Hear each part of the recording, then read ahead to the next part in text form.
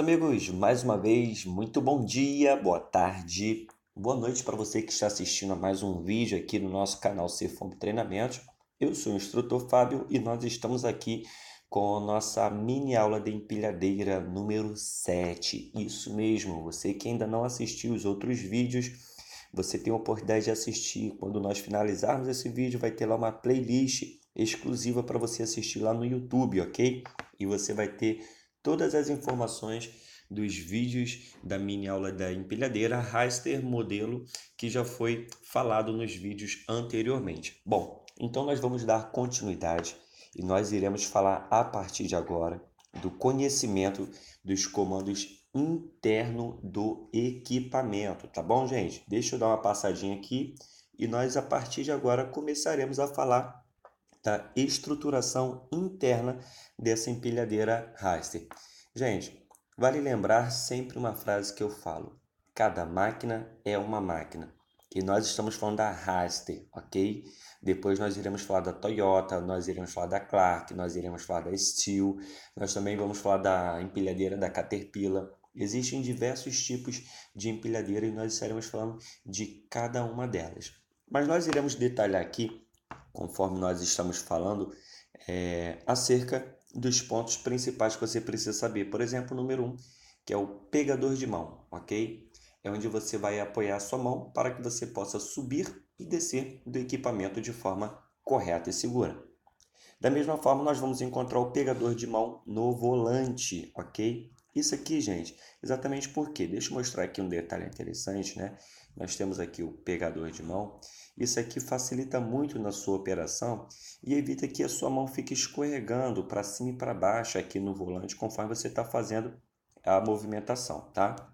Então, eu particularmente, eu sempre, é, quando trabalho com uma empilhadeira, quando tenho oportunidade de ter acesso a uma e tenho o pegador de mão, eu faço a utilização do mesmo, tá bom?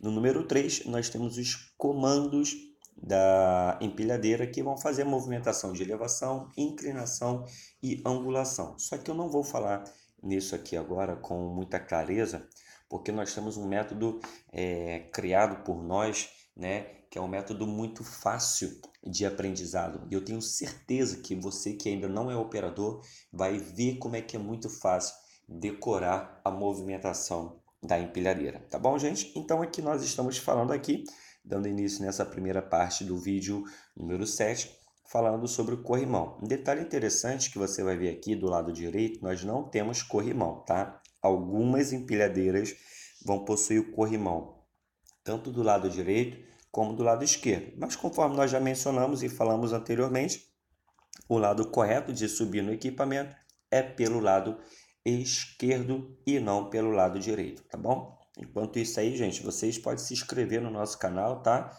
Vocês podem é, ativar o sininho aí, dar aquele like bacana aí, tá bom, gente? Agora nós iremos falar desse detalhe aqui que eu preciso me prender um pouco mais. Sobre os pedais de freio e pedais de aceleração. Vocês podem observar que nós temos duas imagens o número 1, número 2, número 3 e número 4.